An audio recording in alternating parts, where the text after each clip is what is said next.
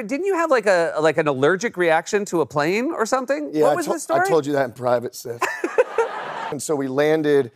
I'm just like, man, I'm not feeling too good. And I was like getting, I was really hot and I just started itching like crazy. So I get out of the jet and I'm just covered in hives. Instantly, I go to a doctor, I do like a blood analysis, this and that, whatever. My blood work comes back and I have um, flame retardant pesticides and jet fuel in my blood. And I thought, wait a second, this is actually kind of cool. So I go to set the next day and Tom's like, so how did it go, Miles? What did they find?